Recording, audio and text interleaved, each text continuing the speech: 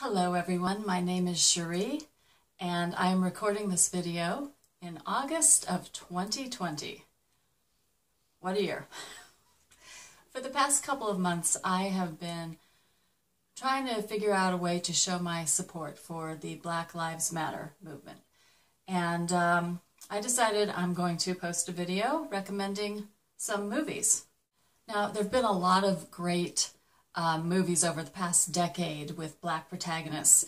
Um, the one that I've spoken about often on this channel is Beasts of the Southern Wild. Um, there was also Django Unchained, Hidden Figures, The Last Black Man in San Francisco, all, you know, either critically acclaimed or adored by audiences. The thing about those movies is they were all made by white people.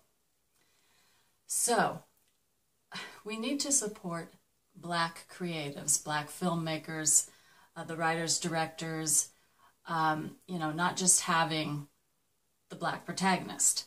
So, I have got a list of three of my favorite films, and these are all from DVDs that are in my collection. I only buy DVDs if I really love a movie and I know I'm going to watch it multiple times. Um, and uh, these are all written and directed by black filmmakers, and they all um, are about the black experience in America in modern times. All right, so the first movie I'm going to recommend.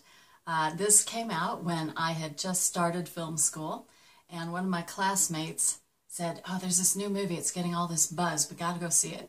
So we went and saw it, and I came out just floored. I had never seen anything that intense and passionate and and kinetic and and just inspiring. And I wanted to write something as good as that. Uh, that movie was Do the Right Thing by Spike Lee. And Spike Lee not only wrote and directed it, he also produced it and acted as one of the main characters. Um, this is a film from 1999, and it has been deemed historically, culturally, and aesthetically significant by the Library of Congress. Um, so it is it has been placed in the National Film Registry. This is my Criterion Collection copy. So Criterion does really good uh, versions of things. Um, the story takes place in Brooklyn on a very hot day and um, it's a, a street in Brooklyn that mostly black people live in, but there is an Italian pizzeria and a Korean grocer's, and it's about the racial conflicts that arise. So, great movie, Do the Right Thing. Do the right thing and see it if you haven't. the next movie um, came out while I was living in Hollywood in 2017. And I lived in Hollywood proper, and I would turn uh, from Sycamore Avenue right onto Hollywood Boulevard, where the Walk of Fame started, uh, turn left on La Brea, and walk down to my job in West Hollywood. And it was about a mile. And so one day I was walking, and all these billboards had popped up, and it was like a nice suburban neighborhood, and it said, what is, you know, I work in this neighborhood. Is that okay? I didn't realize it was a film advertisement, but it was it was really effective because it's like, what? What is this? So, Jordan Peele's Get Out. Um, this actually did win uh, a Best Original Screenplay Oscar. It did not win Best Picture that year. Uh, the winner was, I believe it was The Shape of Water. Um, but for my money, this is the one that's going to, you know, stand the test of time and be, you know, historically significant. Um, and this concerns a black man who uh, goes to his white girlfriend's parents' house in the countryside and all the weirdness that ensues from there.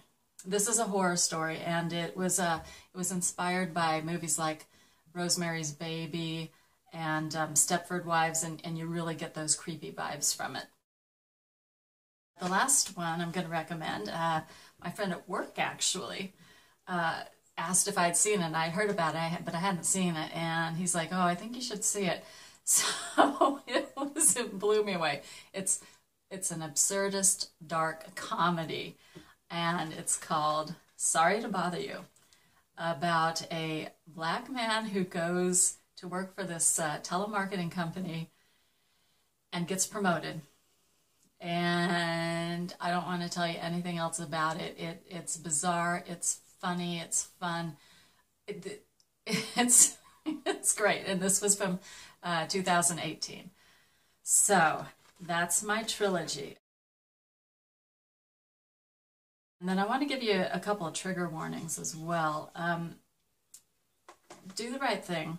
Oh, by the way, uh, Spike Lee was nominated for Best Original Screenplay for this also. What did he lose to? Uh, he, he, he lost to this one. I'll, I'll put it there.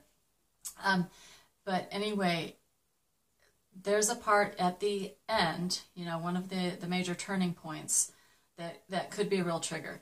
This is just as relevant today as it was 31 years ago when it came out.